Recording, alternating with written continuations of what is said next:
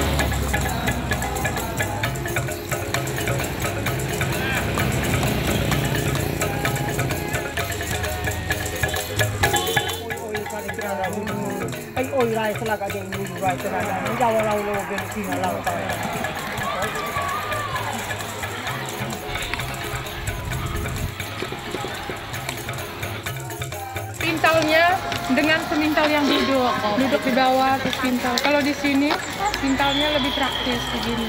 Nanti emak emak ajar dia saja biar jadi ini emak-emak bisa bisa lihat beda bedanya ini yang benang pintal warna alam itu yang ini Ya ini campuran benang itu kita kita sudah bisa lihat bisa tahu sendiri. Iya, yang ada siput bisa bisa saya Penenun itu gunanya nomor satu adalah untuk memenuhi kebutuhan adat. Yang satu tahun itu bisa puluhan kali terjadi event-event adat. Ada kelahiran, ada kematian, ada yang menikah, ada yang pinang. Itu harus membawa kain tenun. ikat dulu, kita tenun ikat dulu baru bisa apa? Menikah. Menikah. Kalau belum tahu tenun tidak mau, tidak boleh menikah. Oh betul. Ya orang tidak suka. Orang bikin belis gading di Oh betul, iya. Karena karena laki-laki kasih gading, harus dikasih sarung. harus kasih sarung. Iya. Iya. Jadi kita tidak ya, kasih gitu, sarung, gitu. orang tidak tidak Nah sekarang terjadi pergeseran karena laki-laki itu kudanya yang dia kasih ke perempuan itu sudah diuangkan. Jangan sampai uh, tenunan yang dari perempuan kasih kepada lakinya itu uang juga. Besar panjang. Untuk menjaga kita punya tradisi, kita punya kebiasaan. Biar kita sendiri yang pakai. Orang lain tidak pakai pun tidak apa-apa. Karena kita sendiri sudah menenun uang. Jadi kita bisa cari uang dengan cara lain.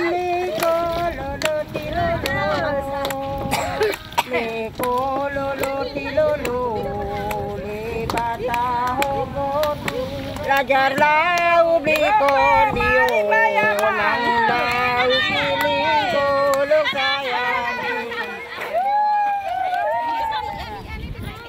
Sandal rokan ko Sandal rokan Sandal rokan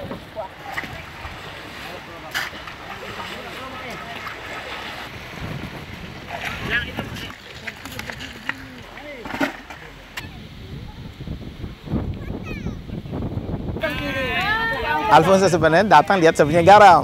Pertama lihat di garam. Setelah dia tarik tertarik dengan garam, baru dia tanya, "Romo di sini apa? Ada orang di sini bagian tenun ikat." So kau buat apa? Ih, saya kita mau bantu. Woi. Akhirnya saya bawa dia ke kelompok Likong Gete. Ya, dan ibu-ibu semua kita kumpul, mulai runding. Wah, ibu-ibu senang. Wah, akal itu sekarang kami didukung betul ini.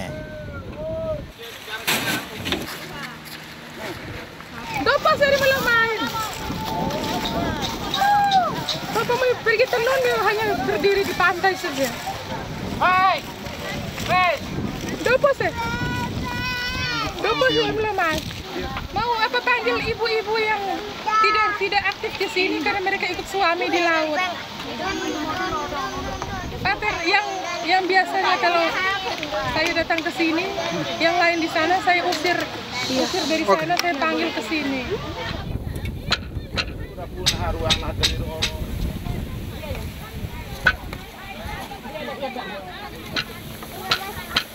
Ya, memang ini tenunan ini adalah bagian dari kebanggaan seseorang. Nah, kalau laki-laki mesti kerja kebun, berbangga karena dia bisa kerja kebun dan bisa memberi makan kepada keluarga. Ya, dari kalau wanita di sini, wanita di sini itu dibanggakan kalau dia bisa buat buat tenunan.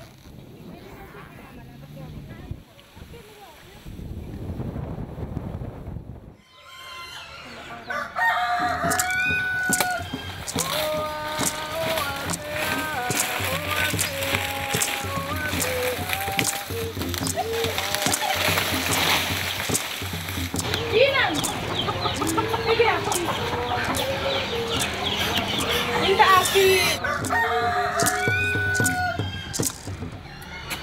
Ano ba ara ko lang raw? Iguro na ang awo, lo dong ba niya pa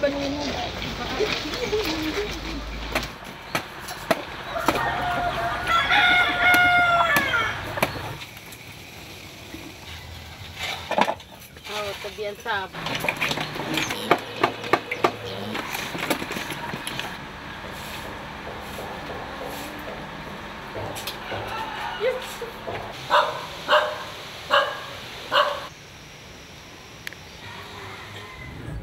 Eh, awal mulanya tidak direncanakan tetapi begitu dengan kita bertemu dengan mereka kelompok-kelompok masyarakat mana terus sambil dalam perjalanan kita kenal dengan orang berkelanjutan dengan itu kita saling mem- memperkenalkan memberikan nomor telepon kita eh, kontak kalau ada acara di sini kalau ada acara di sana kita juga saling kontak sehingga terjadilah eh, kerjasama sampai sekarang.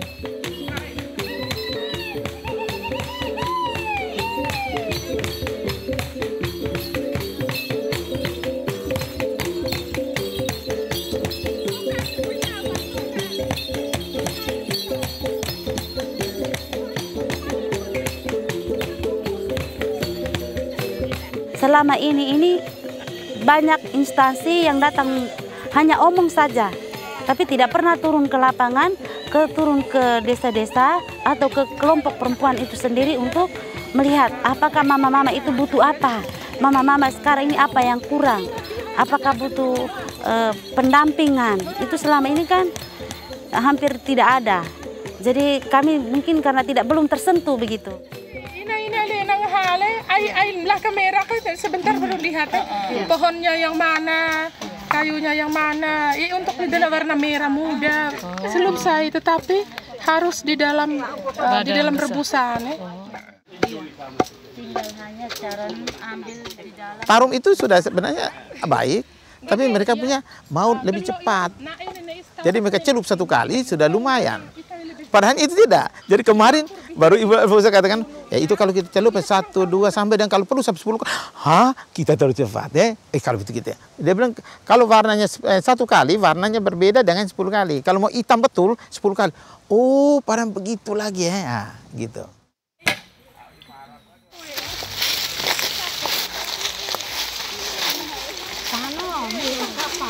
Nanti mio mio resta kan orang orang na ilin ilin ilin egon ko yun apa? Jadi satu satu bangsa tapi beda spesies beda jenis.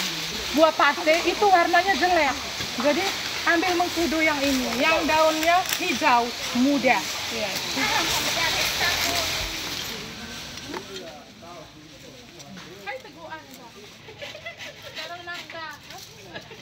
Ay, ito ba to?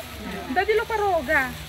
Karena tumbuh-tumbuhannya ini saling menunjang. Jadi milo pa- babat habis buat bangunan, buat kios, buat wartel itu tidak terlalu penting. Kebetulan juga kita ada lahan sendiri dan ini dekat dengan workshop yang studio alam yang kita bangun di sini sehingga kita tidak menjelaskan secara teoritis tetapi kita langsung melihat ke lapangan seperti ini tanaman kapas, seperti ini tanaman pewarna alam, seperti ini prosesnya, seperti ini hasil jadinya. Cangkul sebentar baru hambur. Nanti berbesok jemur.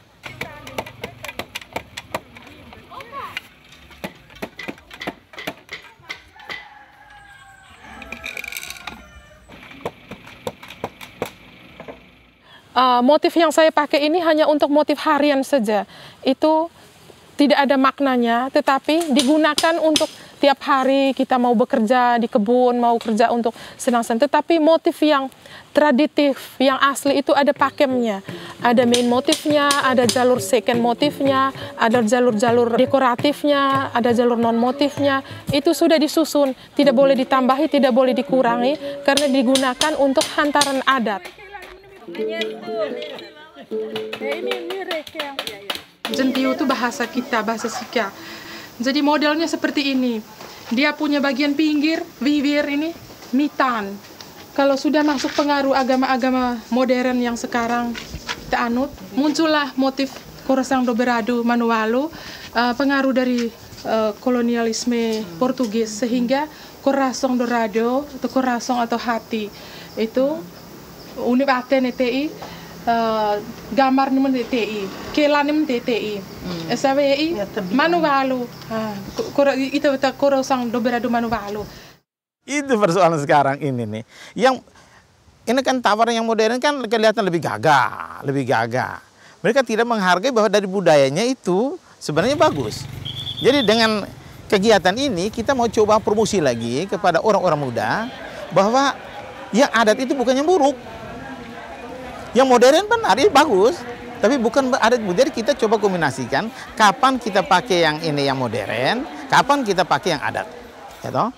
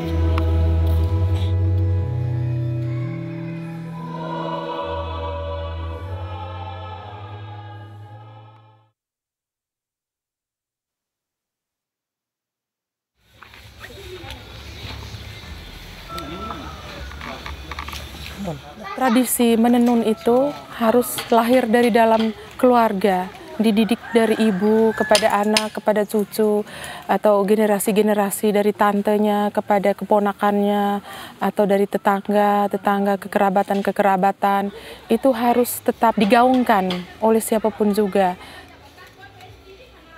Saya selalu ini usul saran sama ibu, ibu bapak guru. Saya bilang ibu pak, kalau di pelajaran keterampilan, coba tolong kasih anak-anak dengan keterampilan ini kain tenun begini supaya anak-anak ini tidak tidak tidak tidak lupa dengan barang-barang seperti ini.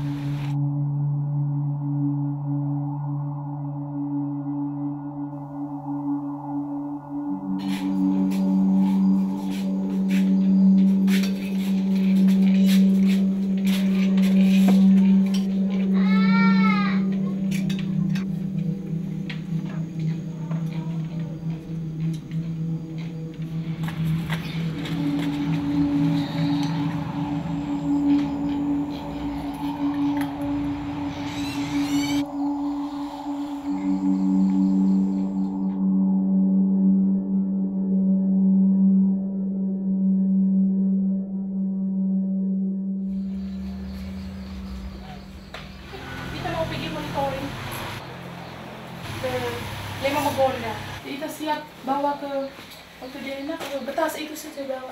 Nah, ini. Ah. Ah, ini indigo. Iya, iya, bawa. Penunannya ini dengan motif yang begini. Eh, kita bawa saja. Jadi kita kita ke Batu Mama Gondar emang kan Kabupaten Sika ini toh, Kabupaten Sika motifnya ini tapi Rimun kan itu main di sini nak pergi eh eh nak, nak pergi ke Mama Gondar Mama Gondar Mama Lekun eh Saya juga ikut kuliah di Jawa, ambil eh, pertanian, Fakultas Teknologi Pangan dan Gizi. Tetapi selama sekolah kuliah juga, saya tidak terlalu serius. Untung saya bisa di wisuda. Karena kita sudah eh, merintis dari tahun 2002, terus 2008 saya di sekolah disuruh sekolah di luar negeri. Ya ikut hanya satu tahun saya rasa ini belajar belajar tidak ada seperti guna cukup saya tidak bisa teruskan karena saya rasa eh, saya tinggalkan ibu-ibu selama beber- beberapa bulan-bulan tidak tidak terlalu baik untuk kalau kita punya kelompok.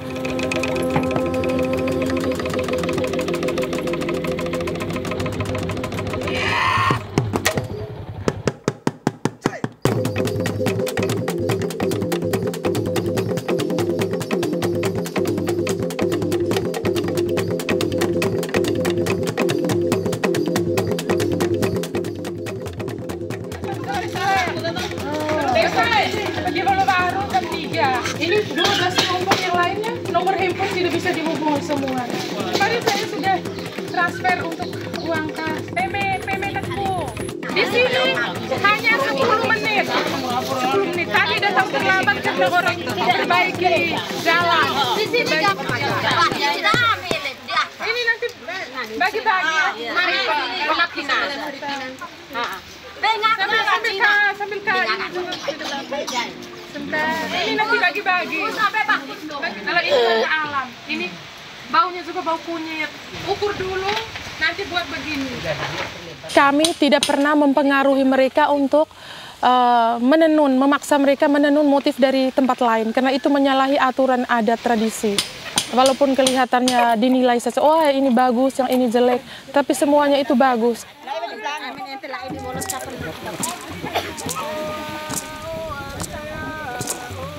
Ba ano, bunyi gawannya. Nanti miu ya itu betul.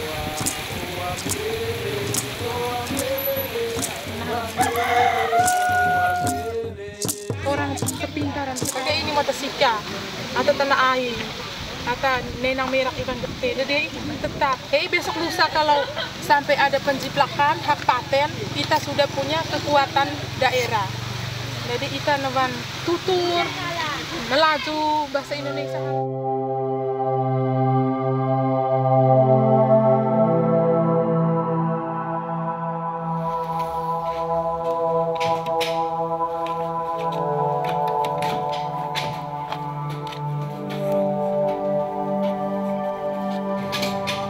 yang kita lakukan ini memang sudah benar dari bahan alam, dari art yang paling tinggi yang kita tidak buat mal-mal terlebih dahulu, kita tidak gambar terlebih dahulu, tetapi dia gambar di dalam otak langsung transfer. Itu yang disebut hue art, tekstil Indonesia, batik maupun songket maupun ulos, tenun ikat, itu bukan kerajinan, tapi itu peradaban, itu karya dari nenek moyang kita, bangsa kita.